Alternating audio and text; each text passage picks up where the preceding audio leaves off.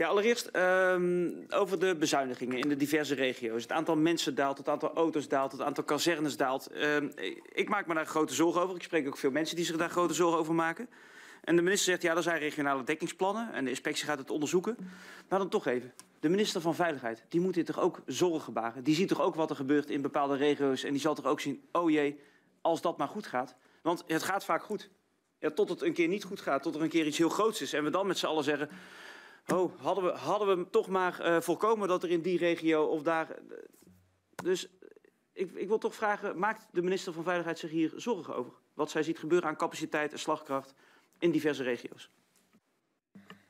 Nou, het is wel een continu gesprek ook in het Veiligheidsberaad met de veiligheidsregio's. Het is dus een, uh, op het moment dat die verantwoordelijkheid niet primair hier in Den Haag ligt, wil niet zeggen dat we, precies zoals de heer Van Nispen zegt, dat we dan maar denken van nou, dan merken we het wel als er een fundamenteel probleem ontstaat en uh, uh, dan zien we wel wie dat oplost. Integendeel.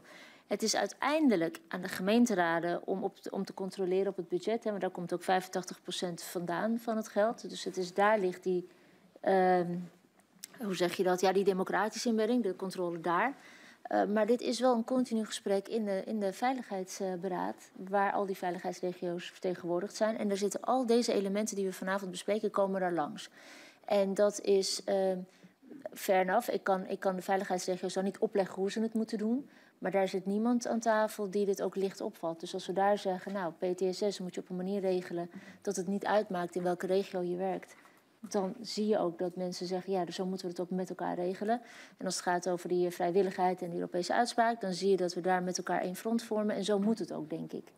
Dus ik begrijp heel goed wat de heer Van Nispen zegt. Ik vind het ook, en dat zullen we denk ik ook heel goed kunnen agenderen in een volgend veiligheidsberaad, om ook bij dit punt specifiek stil te staan wetende dat de gemeenteraden erover gaan en andere instanties zijn. Je hoeft niet alles naar jezelf toe te trekken om daar vervolgens iets, iets goeds op te kunnen doen.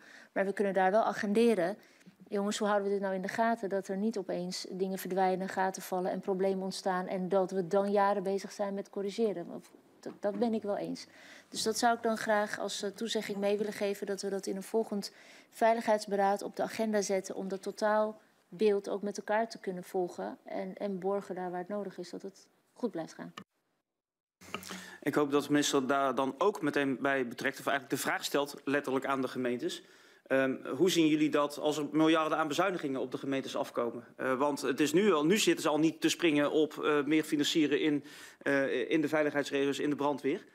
dat zie je hier en daar gewoon al misgaan. Ze zijn voldoende, onvoldoende probleemeigenaar volgens mij, omdat er heel veel gemeentes over gaan. Uh, en zo'n gemeenteraadslid die zegt van ja, maar we moeten ook al uh, het buurthuis open houden. We willen ook investeren in sport en bewegen. En ja, brandweer dat is toch iets van al die gemeentes bij elkaar. Dus daar maak ik me grote zorgen over. Dus wil de minister die vraag daar in ieder geval ook op tafel leggen. Hoe dat zich verhoudt tot de bezuiniging op de gemeentes. En ik wil er meteen een volgende vraag aan koppelen. Um, want de minister kent mijn kritiek op de democratische structuur en het gebrek aan landelijke regie. Want we gaan dat merken dadelijk als het gaat over PTSS. We gaan dat merken als het gaat om het 20-jaarsbeleid. En de minister die zet zich daar heel veel in, dat weet ik. Dat deed ze al als Kamerlid, dat doet ze als minister. Maar je kunt het agenderen, maar je gaat er niet over. En ik ben toch heel erg benieuwd, hoe, hoe ziet nou die, die toekomstvisie eruit? Want ik, ik zeg heel eerlijk, ik ben steeds meer aan het denken aan... moet er toch niet meer, meer landelijke regie komen... in de richting van een landelijke aansturing van de brandweer uh, uh, op een aantal punten om voldoende slagkracht te waarborgen. Maar zeker ook die zaken die je landelijk wil regelen, omdat het niet uit moet maken of je PTSS hebt in de ene of de andere regio. Nou ja, al dat soort zaken. Uh, denkt de minister daar ook over na? En excuus voor de wat langere interruptie, was een, was een, was een heel slecht voorbeeld dit. Ja. Ja. dank u wel voor, voor deze vraag. Um, even eerst met het eerste deel beginnen. De veiligheidsregio heeft um, wel uh, het algemeen bestuur met alle gemeenten en burgemeesters erin. Dus het is mijn contact met de veiligheidsregio's in het Veiligheidsberaad. En daar zijn weer al die gemeenten in vertegenwoordigd. En ik denk dat het juist goed is om daar dat gesprek aan te gaan. Hoe ziet nou uh, de ontwikkeling ook landelijk eruit? We werken ook dus met elkaar aan een landelijk dekkingsplan.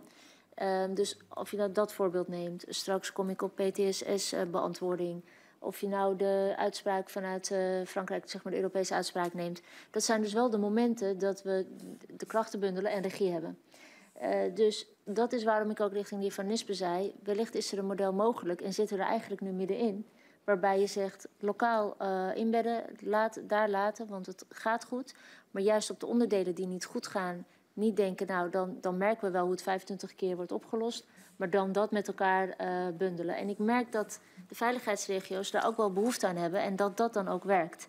Uh, de, nou ja, dat, dat, zou denk ik mijn samengevatte antwoord zijn op de beide elementen. Dus ik neem dat mee naar het Veiligheidsberaad.